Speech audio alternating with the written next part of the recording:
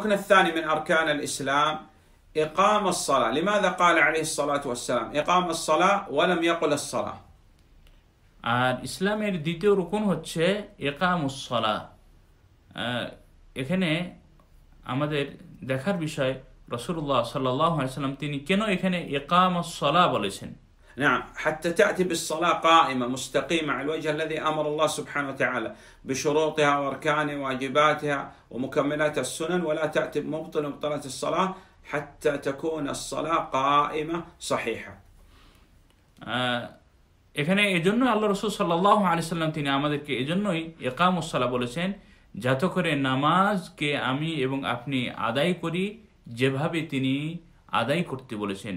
নামাজে যে রুকুন রয়েছে তার শরুত রয়েছে তার অজীব সমূহ রয়েছে সুন্নাত সমূহ রয়েছে এগুলোকে আমরা যেন যথার্থভাবে আমরা আদায় করে নামাজকে প্রতিষ্ঠা করি তাহলেই আমাদের একামুসলা হবে এবং আমরা যেন যেগুলো নামাজ বিনষ্টকারী বিষয় সেগুলো থেকে আমরা বেঁচে থাকি যাতে আমাদের নামাজকে নষ্ট না করতে পারে নামাজ যেন আমাদের সহিশুদ্ধ হয় সেজন্য قد يصلي بعض الناس بدون وضوء أو لا يقرأ الفاتحة يقول أنا صليت نقول قد تقول هذا أن هذه صلاة لكن لم تقم الصلاة فهذا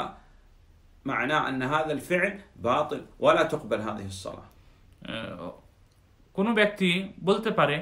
যে আমি নামাজ পড়েছি অথচ সে উজু করেনি নামাজে সোরা ফাতেহা পাঠ করেনি তো আমরা বলবো যে হ্যাঁ তুমি হতে- তুমি নামাজ নামাজ পড়তে পারো কিন্তু এই নামাজ যে নামাজ যে নামাজ পড়ার জন্য আমাদের আদেশ করা হয়েছে যে নামাজ আমাদের জন্য পড়তে হবে আমাদেরকে আমাদেরকে প্রতিষ্ঠা করতে হবে সে নামাজ না বরং এটি তোমার নামাজ বাতিল এ নামাজ কখনো কবুল হবে না। নামাজ দুই ভাবে বিভক্ত।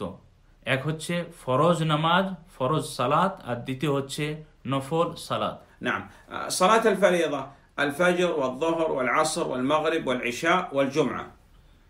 ফজর ফরজ সালাত হচ্ছে ফজর জোহর আসর মাগরিব এশা এবং জুমার সালাত لابد أن تؤدى هذه الصلوات المفروضة الخمس والجمعة في الجماعة على الرجال البالغين আহ, অবশ্যই এই নামাজগুলোকে যে নামাজ ফরজ নামাজের কথাগুলো বলা হলো এগুলোকে অবশ্যই যারা বয়সপ্রাপ্ত বালেগ তাদেরকে জামায়াত সহকারে সঠিকভাবে নামাজ আদায় করতে হবে نعم لا يتخلف عن الجماعة إلا منافق نسأل الله العافية والسلامة